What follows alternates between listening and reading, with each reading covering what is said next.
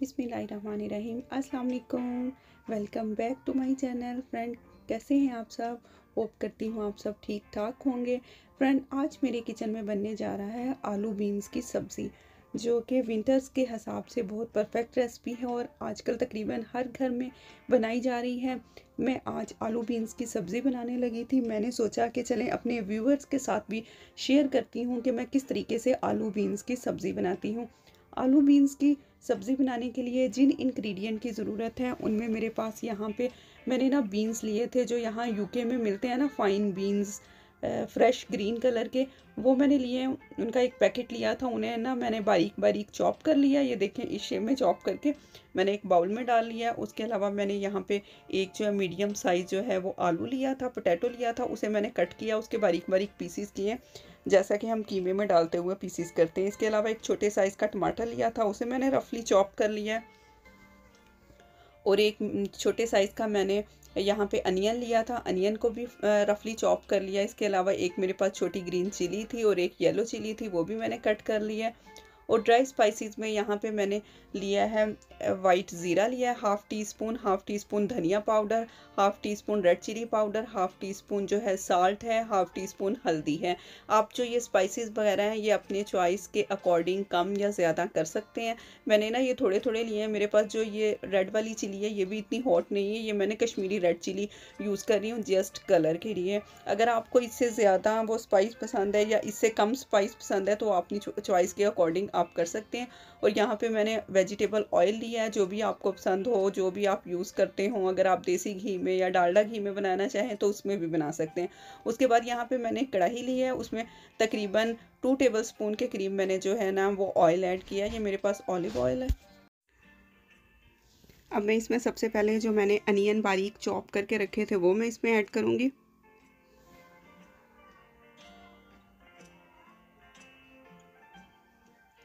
अब जो ये अनियन है, इन्हें मैं फ्राई करूँगी। तकरीबन हाफ़ कुक मैंने कर लेना इसे ये देखें हाफ़ कुक हो चुके हैं। इनका कलर ना थोड़ा सा चेंज हो गया। अब इस पॉइंट पे मैंने जो ग्रीन बीन्स हैं, उन्हें चॉप चॉप करके रखा हुआ था। बारीक बारीक वो ऐड करूँगी और वो मैं अनियन और ना ये ऑयल के साथ उन्हें फ्राई करूँगी।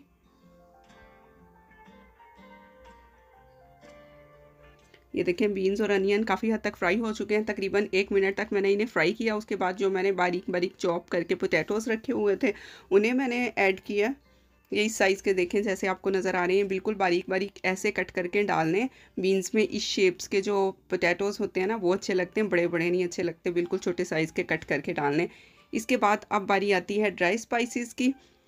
अब इसमें ना ड्राई स्पाइसेस ऐड करने हैं, जो मैंने आपको बताए थे। मैंने जो पोटैटो था, उसे भी मैंने एक मिनट तक बीन्स के साथ और अनियन के साथ फ्राई किया था। उसके बाद ड्राई स्पाइसेस ऐड किए हैं और अब ये डाल के मैं इन्हें अच्छी तरह से भूनूँगी।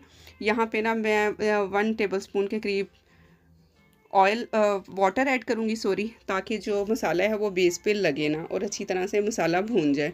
ये देखिए, मसाला भून चुका है। अब जो मैंने टमाटो कट करके रखा था, छोटे साइज़ का रफली चॉप किया हुआ था टमाटो वो मैं इसमें ऐड करूँगी और इसे अच्छी तरह से मिक्स कर लूँगी।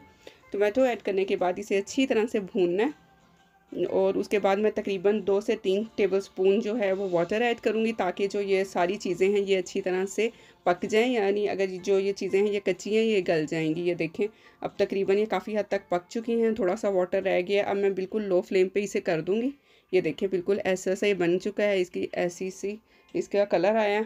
अब बिल्कुल एंड में ये बिल्कुल सालन बन चुका है। अब एंड में ग्रीन कोरिएंडर और जो मैंने दो टू टाइप्स की चिलीज़ बारीक कट करके रखी थी, वो ऐड करूँगी और इसे अच्छी तरह से मिक्स कर दूँगी।